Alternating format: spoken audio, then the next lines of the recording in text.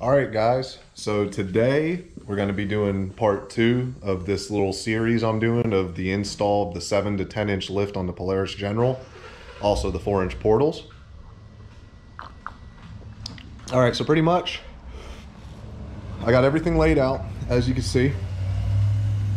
Just having a little bit of coffee. Went to uh, Harbor Freight this morning, one of my favorite stores in the world and I got a canopy because it's supposed to be like a 100 degree heat index today. And I was dying last night just getting this front end taken apart. So, so far this front end, you can see, got it all apart. Only thing that's left in there is the sway bar. Brake lines I gotta take off of the master cylinder. Sorry, I'm trying to get some coffee in before I start this because I know I'm gonna be sweating bad.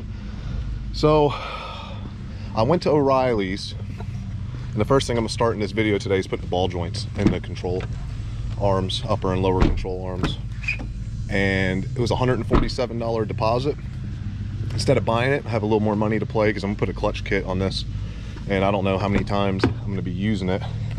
But I went ahead and got this little ball joint press set.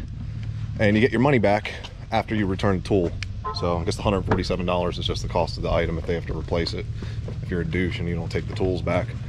So I'll start this video off and we will get these ball joints pressed into these upper and lower control arms and then we'll go ahead and we'll start tackling this install. So I'm excited. Uh, woke up early, just pumped up, ready to get this done. A nice little vacation for me. Uh, not working right now, so figured, hell, the wife is at work, kids are at school, and I have the whole house to myself. I could work on my toy. Uh, what a better vacation I couldn't ask for more. So, all right, guys, let's go ahead and get this thing going.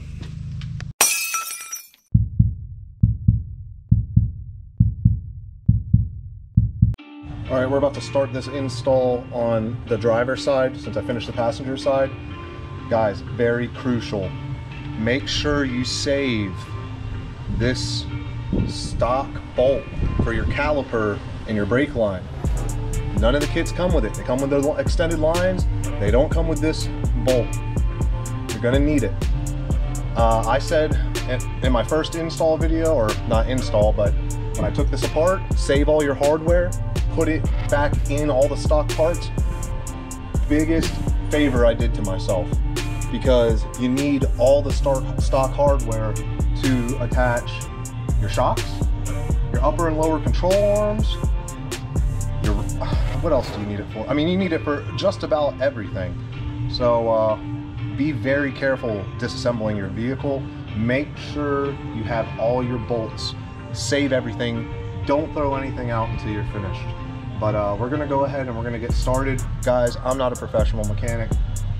I'm gonna get in here and I'm gonna do it how I think it's going to be easy for me to do this by myself on this side. After doing the other side, I think I could do this side in probably two hours, uh, two and a half hours. So I'll obviously have to edit some of this video, but uh, the directions, you may as well just ball them up, throw them out, use it for toilet paper, dry your sweat up with it, whatever you want, but I wouldn't use it for any uh, direction because I did everything on the other side twice everything, everything. So uh, yeah, very frustrating, but that's part of the fun of it and the challenge of it, I guess. Once you do it, you know where everything goes and what you need and don't need. So I hope I save you guys some time. I really do. Get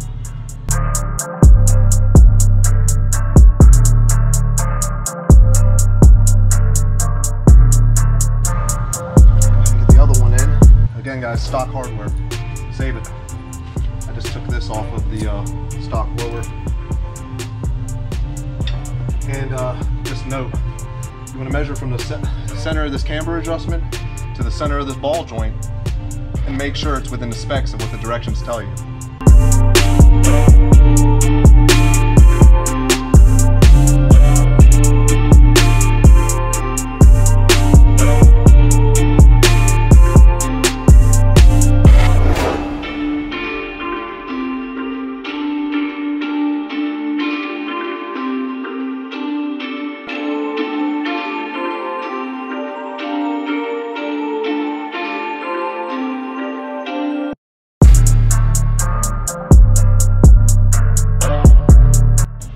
Again, I'm just taking the stock hardware out of this stock upper control arm.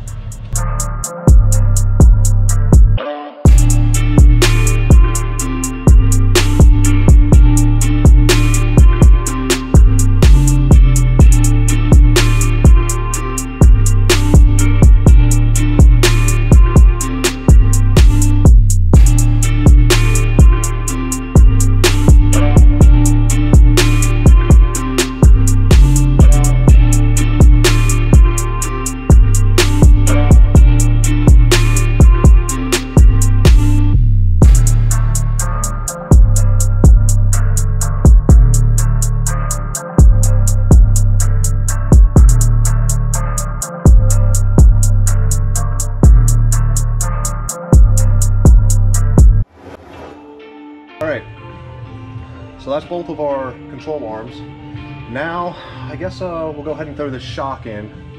And then after the shock, we'll go for the rack and put in the tie rod.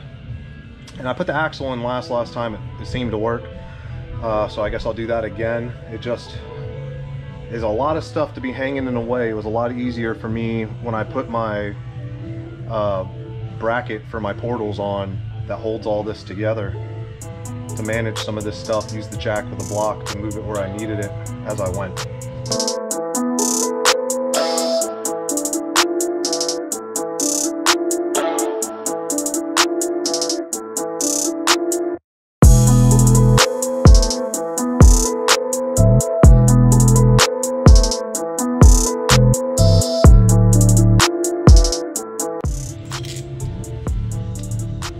I just loosened this all the way up makes it a hell of a lot easier to compress this shock.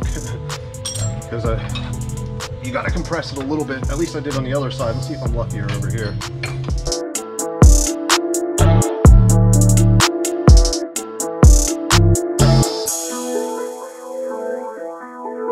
Looks like it's been 20 minutes and we got both of the control arms on. Obviously the, the ball joints were already pressed in. I did that. That didn't take too long. It was a, a battle don't get me wrong but without the right tools. If you have the right tools, it'll probably be easy. It wasn't easy for me, but I got them in. I had a lot more, and these things, man, they don't hold like any grease. I called them up, I'm like, man, I'm pumping grease, pumping grease. It's like, oh, it just takes a little bit of grease. I'm like, so it won't come out the bottom of the boot? They're like, no, where the ball goes in, uh, it, it just doesn't take a lot of grease. I'm like, okay. And apparently you could take this top off and these ball joints right here, they're adjustable and you can adjust the, uh, tension on them and really customize the ride of the thing. Uh, I'm just gonna leave them how they came unless I notice an issue. This is part of your tie rod and this is what goes to the rack. Now what I did on the other side, and I'll let you know later in the video if it works or not, but I eyed about 3 eighths of an inch of thread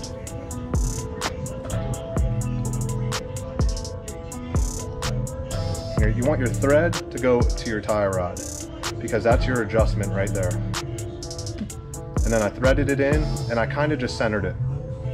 So you got like about maybe an inch heavy by the end of play right there. And again, I haven't done it. I'll let you guys know in the video if it works. And I loosened this one about the same. Match them, I figure you match them, it'll make your adjustments easier. So about an inch heavy, center your nut so you have the adjustment can count your threads if you want. Looks like I got four threads there and four threads there. So, all right, we're gonna go in right here. Oh, almost forgot something. And this can be tricky. This is a, a, a steering stop washer, I guess, so you can't oversteer with it. Probably gonna have to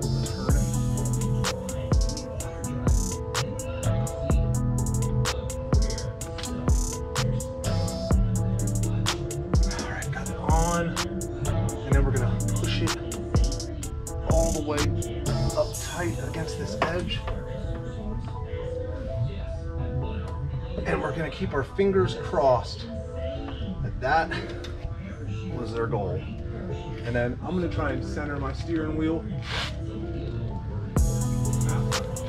Let me look at the other side. All right, that's centered. Work with it centered, it'll save you some hassle. So I got that on, no problem. And uh, went ahead and put this tie rod and now I remember to turn my camera back on. So let's go ahead and uh, get this in. I bolted this together, these two pieces. That's all I've done to this. And then this is gonna slip on this ball joint. Now there's a little notch in your ball joints. You're gonna want to spin that so that it catches that bolt.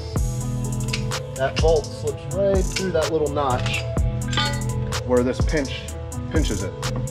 So let me make sure I got this right now. What am I doing? You're gonna have to take your stock bolts for the uh, ball joints out of your carrier bearing right here. So I'm really happy I saved all this stuff and was smart enough to thread it all like this because it makes it a lot easier and it takes the guesswork out of what hardware goes where.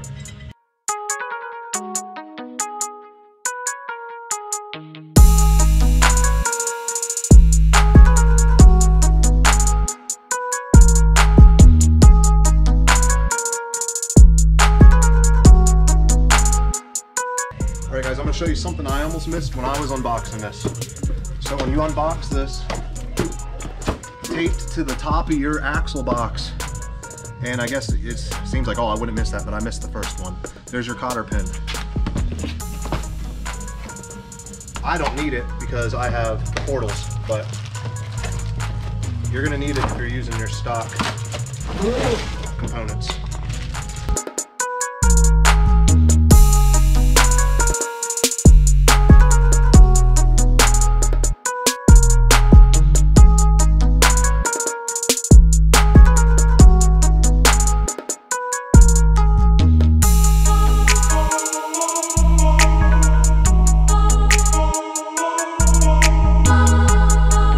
One nut that you throw a washer on. And here's the washer. And it's because it's really close to the to the axle. And you won't be able to get the you won't be able to get the flanged nut on there. So just keep that in mind.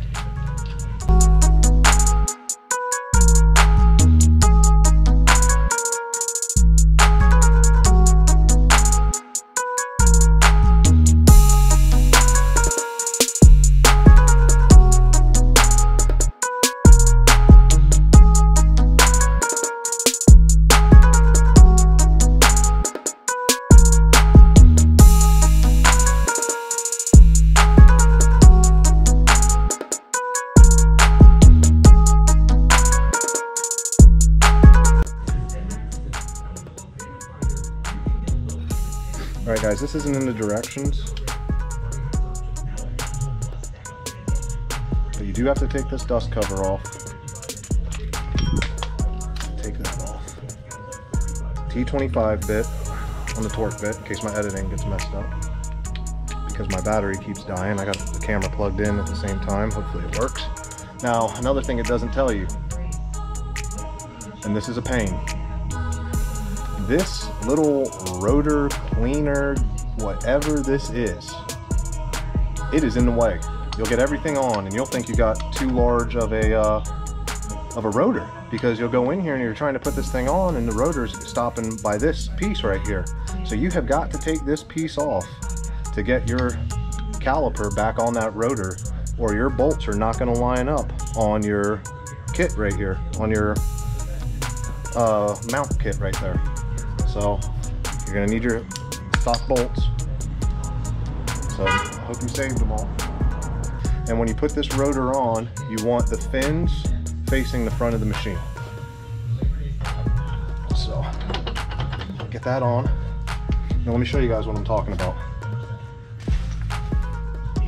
You go to get this on there now, and hopefully your uh, pistons are in for you on your uh, caliper, but if they're not, you're gonna have to take this off and do that. But if you slide this on there to mount it, all right, so that's all the way in. I try and get my bolts in and you can see my bolts aren't lined up and I could show you it, but you should take my word for it. it's gonna rub this rotor the whole time. So it's gotta come off. It is 10 millimeters.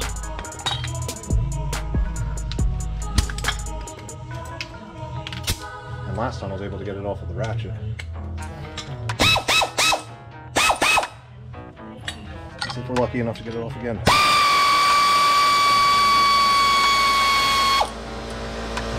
One.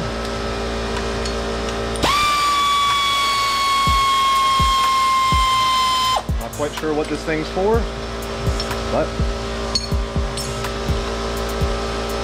see my bleeders here? It's gonna be up top when I mount it. Self-explanatory from there. Like I said, you need to use your stock bolts. All right guys, sorry about that. I did make a mistake and we're gonna go back and we're gonna fix this really quick. We need to put the recessed nut in first. That's gonna hold that axle in.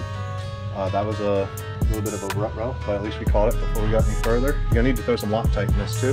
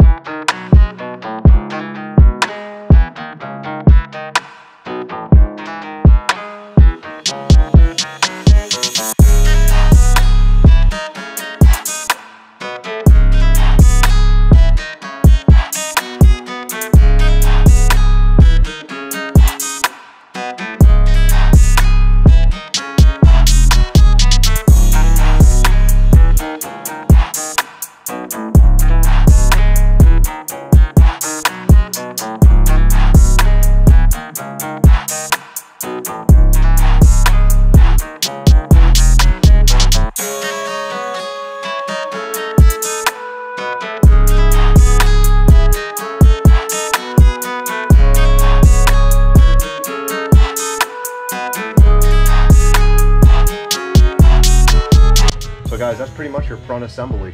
Um, that's all of it. So if you guys have any questions, just comment and I'll let you know. Give you the best answer I can. Hope I can help you out. All right.